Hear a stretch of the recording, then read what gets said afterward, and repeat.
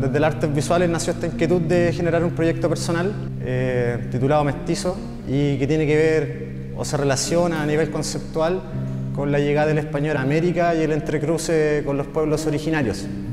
Toda esta idea como a nivel de concepto se cuaja en esta pintura experimental, como ya lo dije, bajo la bandera del expresionismo figurativo, donde esta tendencia artística me permite poder eh, deformar imágenes y tener un imaginario básicamente sin límite. La técnica empleada en mestizo se relaciona con el esgrafiado. El esgrafiado es una, una técnica que proviene del diseño, que consiste en raspar una superficie y dejar expuesto lo que está abajo. Es de esta manera que ejecuto las pinturas.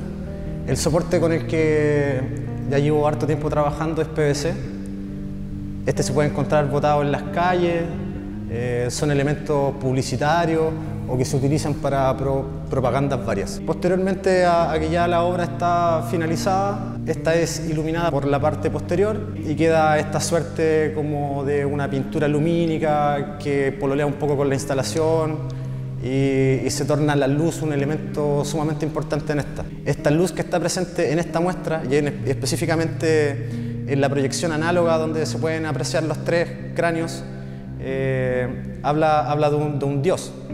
Esa obra eh, tiene por título Los tres tiempos, básicamente habla de la muerte, habla como tiene un elemento unificante con el resto de las obras eh, a través de la luz y básicamente esta luz hace alusión a Dios.